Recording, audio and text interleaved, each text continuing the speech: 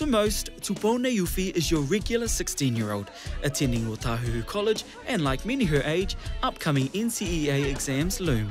But this Tongan teen is not only juggling school, she's also making waves. Well, it was a good start for Neiufi from New Zealand. She's going to be up and stroking first, At the 2016 Rio Paralympics, 15 year old Tupou announced her arrival on the international para swimming scene by making the S9 100 metre backstroke final.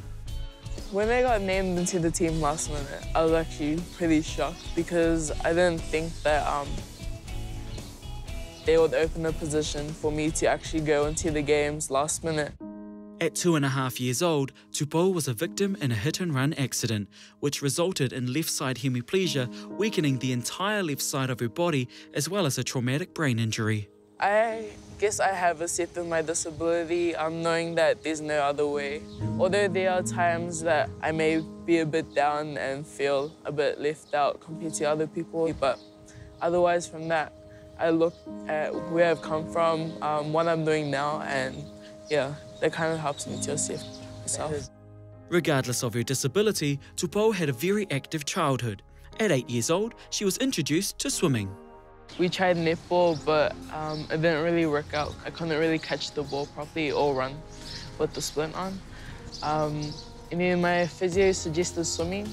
And then when I had my first swimming lesson, I just fell in love with the sport. Before becoming a high performance carded athlete, just getting to swim meets was hard enough. I wasn't raised in a wealthy family. My mom couldn't exactly afford most of my races or accommodation, so uh, she had to ring my grandparents and ask um, if they could help out with the finances and stuff. And they said no problem. They just want to see me like try my best. Under the guidance of her coach Sheldon Kim, Tupou has developed into a world-class athlete. He's not like, uh, she has a disability, I should give her easier sets or I'll give her more breaks. Like, he treats me like everyone else and makes me do what everyone else does.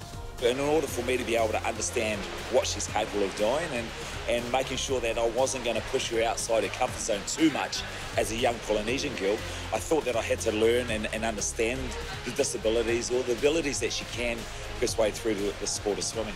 Tupou is awaiting selection for next year's Commonwealth Games, but has her sights set on success in Tokyo.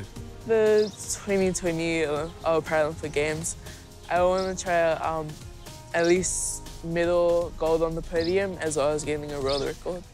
It's quite a long way away, but with hard work and determination, hopefully I'll get there.